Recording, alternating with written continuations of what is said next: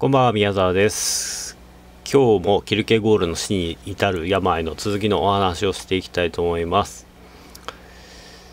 えー前回お話ししたのは、有限性と無限性のお話でした。えーあと必然性と可能性の話ですね。この話の続きをしていきます。えー、57ページの8行目。さて、可能性が必然性を放棄し、その結果、自己が可能性の中で自己自身から離れ去って、再びそこに戻りくるべき何らの必然性なるものも持たない場合、これが可能性の絶望である。自己は抽象的な可能性となる。自己は可能性の中でもがき回って疲れ果てるだけでその場所から外に動き出すこともまたどこか他の場所に行き着くことも共にできないなぜというように必然性なるものこそ場所なのである人間が自己自身になるというのはまさしく場所における運動に運動そのものに他ならない生成の生成は場所からの運動であり人間が自己自身になるというのは場所における運動であるえーこれ大切なこと言ってますね。えー可能性と必然性を統合して自分自身になるんですね。えー前回その女子高生の話をしたと思うんですね。前回というかもう前回何話したか忘れちゃってるんですけど酔っ払って話してるわけじゃなくて喋ったことを忘れてさらに聞き直してもないんでちょっと整合性がつくかどうか微妙なんですけどえーまあえーなんか歌手になりたいっていう女子高生の話を例に挙げて可能性と必然性を、えーお話しました。まあ歌手になれそうな子がいたとしますね。まああの歌もまあうまいと。可能性があると。必然性必然性の方が必然性の方はまあ田舎に住んでるとしますよ。田舎に住んで都会の事務所に入ればまあ歌手にはなれそうだって子がいたとしますね。で、えー若い頃は往々にして可能性だけが空回りするわけですね。自分がこういう夢を持てばなれるんじゃないかと。希望いっぱいで。多くの人がまあ大体事務所にも入れずオーディションも受けられずそもそもオーディションも受けずみたいなですね。感じになっていくと思うんですね。で、まあ、歌手になるとか諦めるとか歌手になるのを諦めて声優になるとかですね。なんか声優になるのを諦めてえー、ニコ生主になるとかですね。そういう風になると思うんですね。ニコ生主っていうのは何なのかよくわかんないですけどまああの僕のやってることと大して変わんないと思うんですけどね。ニコニコ生放送で自分で顔を出して喋ってる人とかいますけどね。ああいうのになるんだと思うんですけど。でえーまあだんだん挫折していくわけですね。ただ何ですかね。可能性の中で自己自身から離れ去って再びそこに戻り来るべき何らの自然性なるものも持たない場合私夢を叶えますって親に大反対されてですねお前歌手なんか言ってんじゃないって芸能界なんかヤクザな世界だからそんなとこで生きていくのはお父さん許さんって言ってですね娘を叱りつけたと。で高校卒業と同時に娘がですねまあ家出をしてしまったと。東京に行ってしまったと。可能自分の可能性を試してみます。お父さんお母さんごめんなさいって言って書き置きを置いて一人で上京したとしますよ。男性の方が多そうですけどねそういう人は、えー俳優になりますとか言ってですね行ったと。で、えー4月からフリーターとしての生活が始まるんですけどもなかなか生きていくのも厳しいと。バイト代もそんなに高くないしバイトしてるだけで疲れちゃうみたいな。大体こんな風なんですね、まあ僕もそういう時期があったんで分かりますけどね。で可能性が空回りしてですね、えー自分自身だけの妄想は働くわけですね。でまあ東京に行けば夢を叶えようと思って頑張ってる仲間たちができるわけですよ。同じように歌手になりたい。お笑い芸能芸人になりたいとかですね。小説家になりたいとか思ってる人はまあ自然と仲間ができると。で夜な夜な誰かんちで鍋パーティーして夢を熱く語り合うというですねことをするんですね。でも可能性の中で、えー、スキップしてると。おとぎ話の中で自分が半年後には有名になるんじゃないか。いや明日有名になるんじゃないかと思ってですね、えー、盛り上がってしまうと。これが可能性の絶望ですね。えー、もう地元実家の両親からは感動されもうもう帰ってこなくていい。顔も見たくない。お前みたいなやつだって言われて。で東京で寝寝なし草になると。それで夢を追いかけると。戻る故郷もなくなるみたいなですね。感じですね。家出する時に親の金貯金全部下ろして持ってきたとかですね。もうそのぐらいのことややっちゃってたらもう帰る場所がないわけですよ。でこれが可能性の絶望であると。で事故は抽象的な可能性になると。俺俳優になりますとか私歌手になりますっていうですねどんな歌手になるかとかどんな俳優になるかっていうのはとりあえずないんですよ。すごい抽象的な曖昧な感じでなると。で事故は可能性の中でもがき回って疲れ果てるだけでその場所から外に動き出すこともまた他の場所に行くつくことも共にできないと。なぜというに必然性なるものこそ場所なのであると。この必然性なるものっていうのは何かっていうとまあ何でしょうかね。その人自身であるっていう限界があるわけですね。そのバレーボール選手になりたいので身長160センチしかなきゃいないと結構厳しいわけですよ。えー、あるいはまあ歌手になりたいのに歌が異様に下手だとかですね。音音すら合わないとかですね。えー、まあいろいろ必然性ってものこそは何かを可能性に飛び立つ前の何て言うんですかふるさとっていうか場所になるわけですね。で若い若いと往々にして自分のことは分かってないんで可能性の方ばっか目にがいってしまうと。誰か成功してる人を見てああいう人になりたいって思いだけで何か始めてしまうと。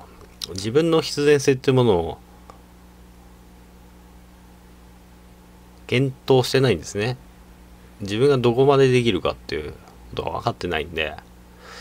野球で言えばですね野球うまい子が4番でエースになりたいと思って野球始めるのと一緒ですね。でプロ野球は4番のでエースだった人の集まりになるんでよく野村元監督楽天の監督なんか言ってましたけどバントだけうまければプロになれんだからバントだけ磨くとかなんか自分の中で一番輝く必然性を磨いていかないとプロでは使ってもらえないですね。俺4番でエースになりたいんだって言って入ってきてですね。4番でエースもう4番もエースもいる場合ですよ。そこで勝負し真っ向勝負してるといつまでたっても出番がないと。そうなると盗塁がうまいとかですね。バッティングセンスはないけど盗塁は必ず決めるとか。守備がやたらうまいとか守備固めで使われるとかですねそういうところから自分の出番を伺っていかないと全くベンチを温めてるだけになっちゃうんですね。それは必然性のあるものの場所っていうのはない人ですね。自分が一番得意で、まあ、自分の限界とともに自分の得意なところですね、冷静に自分で判断してそこから自分自身になっていくと。可能性の部分だけ見てしまうと人間はもうすぐエースで4番になりたいんですよ、えー、モーニングモーニング娘。で言えばセンターになりたいみたいなですね。AKB で言ってもセンターでなりたいってなっちゃうんですけどもうその端っこの方でも後ろの方で一生懸命踊ってよくわかんない、えー、変顔とかしてそういう風にして少な少ないファンを囲っていくってことをやっていかないといきなりセンターになるって言ったら無理だと思うんですね。でも必然性と可能性のバランスが悪いんで若い頃って。可能性の方ばっか目が向いてしまうと。ちょっとやればできるはずだと思うんですね。で結局何者にもなれないんですね。自分は可能性の中でもがき回って疲れ果てるだけでその場所から外に動き出すことも他の場所に行くこともないと。可能性の中で夢ばかり見て自分自身になることはないと。自分自身になるためには必然性に目を向けなきゃいけないってことですね。自分が何が得意で自分が何が下手なのか。ってことですね。で生成は場所からの運動であり人間が自分自身になるというのは場所における運動であると。この場所っていうのは必然性のことですね。必然性自分が日本人に生まれた日本人で生まれたのにもかかわらずですねそのアメリカのビルボード誌のチャートの1位になりたいとか目標を掲げるところはもう空回りしちゃうわけですね。で日本人であんならば日本人であるところからの限界からスタートしなきゃいけないと。いうことですね。それがないと自分自身になれないし自分自身になれてもない人は可能性だけ実現するってのはありえないですね。そういうことが書いてあるんですねこれ。いいこと書いてありますね、うん、心に痛いですけどね。僕の若い頃に聞かせてやりたいですねこれ。頭では分かってたつもりでも可能性の方ばっか見てましたね。反省してますけどね。まあ、社会に出てから気づくんですけどね。ああ俺何でもないんだなって。よくよく。サラリーマンになってつくづく気づきましたけどねこういうことに。ああ俺は何でもない人間だと。俺自身にもなってないじゃないかって気づくんですね。で続きです57ページの後ろから3行目さて、かっこ必然性を持たぬ、かっこ閉じ。事故に対しては、可能性は次第次第に拡大されてくる。その領域はどこまでも拡大されてくるように思われる。彼には何何者も現実的にはならないのであるから。最後にはどんなことでも可能であるかのように思われてくる。そしてちょうどここまで来た時には、もう深淵がもう事故を飲み込んでしまっているのである。どのような小さな可能性でもそれが現実性となるためにはある時間を必要とするはずである。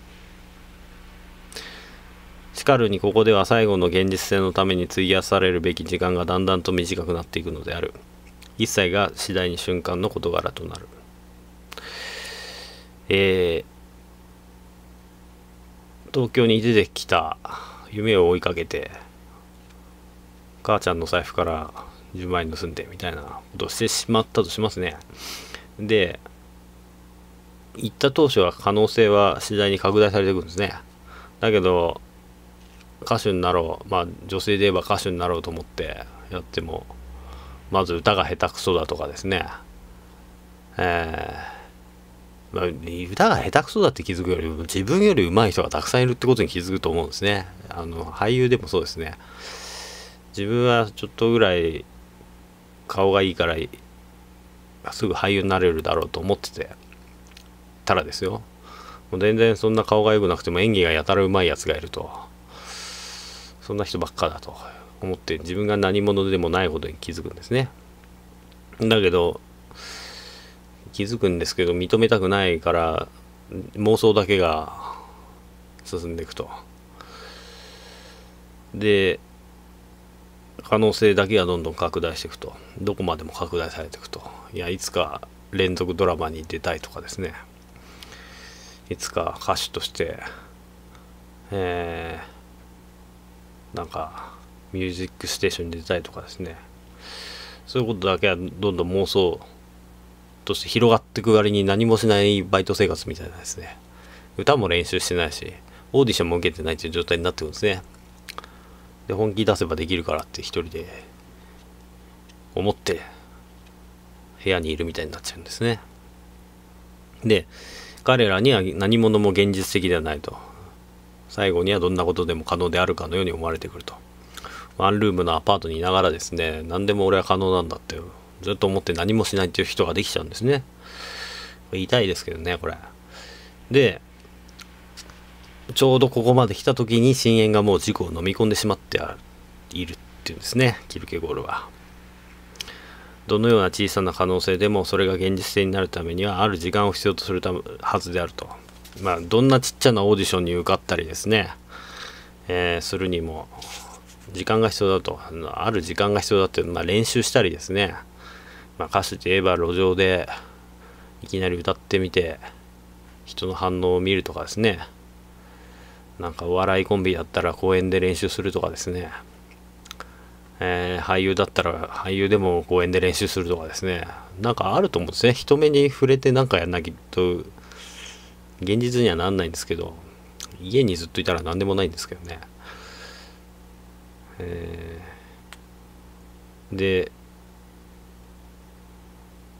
そんなこともせず引きこもり状態になっていくと。あるいはバイトしてるだけの人になっちゃうと。そうなると現実性のために費やされるべき時間時間がだんだん短くなっていくと。一切が次第に瞬間のことがなると。でですね次ですね。可能性がいよいよ強烈になってくる。現実性の意味においてではなく可能性の意味においてである。というのは現実性の意味で強烈なものの場合には可能性のもののうちで何かがきっと現実的になるわけだからである、えー、可能性だけがどんどん強烈になってくるんですね。妄想だけが深まっていくと。で現実的な意味で強烈的なものの場合には可能的なもののうちで何かがきっと現実的になると。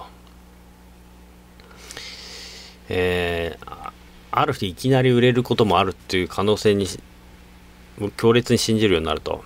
それを現実性の意味で強烈に信じるようになると可能性の中ではそれが現実的になってくるんですね。これ何のこと言ってんのかっていうともうなんかだんだんだんだん部屋にいてもう妄想が深まっていくとですねすごいお酒飲んじゃっていや俺はすごいできるはずだって万能感に浸るっていうのありますね。あるいはその危険ドラッグとかですね。何の夢も何もやってないくせに挫折しまくってるんですけどアルコールの力を借りてとかですねそのドラッグの力を借りて可能性のものの中できっと現実的になるものを強烈に感じてしまうと。で、そんなこと言ってると思うんですね。で、さて何かが瞬間的に可能的なものとして示される。そうするとまた新しい可能性が示されてくる。最後にはこれらの幻影が非常な速度で相次いで出現してくるので、結局どんなことでも可能であるかのように思われてくる。これが実に個体が自己自身にとって隅から隅まで蜃気楼、かっこ単なる可能性確固閉じとなった最後の瞬間に他ならない。えー、引きこ引きこもりみたいになっちゃって、なんか薬だけ飲んでると。そうすると現実的な意味で強烈的に何かが可能になるんじゃないかって妄想だけにとられると。その繰り返しをずっとすると。で答えが自分自身にとって隅から隅まで蜃気楼になる最後の瞬間というのを迎えちゃうんですね。もう現実と可能性の区別がつかなくなると妄想状態になってしまうとこういうことになっちゃうということですね。まあ何ですかね。上京してきて歌手になるっつって上京してきたけど気づいたらキャバクラで働いてたみたいですね。えー、たらお客さんがヤクザだったみたいな。そしたらなんか覚醒剤打たれちゃったみたいですね。そしたらもう自分の頭の中で歌手になっちゃったと。えーまあ、そんな感じですね。で覚醒剤中毒になって、春を被災で覚醒剤代を稼ぐみたいな、そういうことになっちゃう可能性もありますね。まあ、だから可能性だけふわふわ追いかけるとすごい危ないってことが書いてあるんですね、これ。キルケゴールの時代で危なかったんですけど、から今も危ないんですけど、まあ、最後は何ですかね、これ、一番正しい例としてあげれば、欲望という名の電車のブランチっていう人がいますけどね、ビビアン・リーが映画で演じてますけど、全部が妄想になっていっちゃうんですね。自分が昔、南部の大きなお屋敷のお嬢さんだったっていうそこから没落してってでも今もお嬢さんなんだ可能性があると思っていつの間にか売春婦になってるんですけどで妹の家に転がり込んできてで妹の旦那さんであるマーロン・ブランドにですねスタンリーに「お前はただの売春婦だ」って言って見破られてしまうっていうですねお嬢さんぶりやがってって言ってですねなっちゃうと。そういうことが書かれてる「欲望という名の電車」っていう戯曲があるんですね。映画にもなってますけど。まあマーロン・ブランドの代表作の一つだと思いますけど。まあ全ての可能性が蜃気楼になっていくと。いうことですね。で誰か白馬の王子様が迎えに来てくれるって言って最後ブランチのとこに迎えに来てくれるのは精神病院の職員だったりするんですね。で連れてかれちゃうと。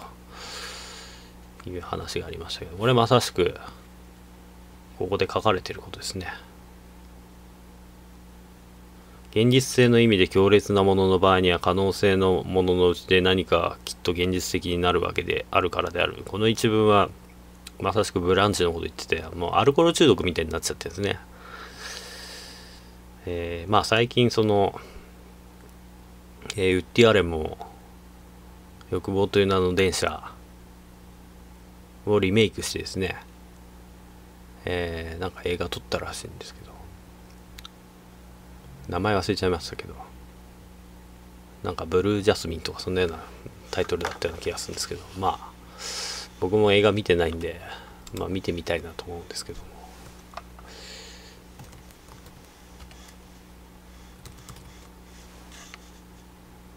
ブルージャスミンですね。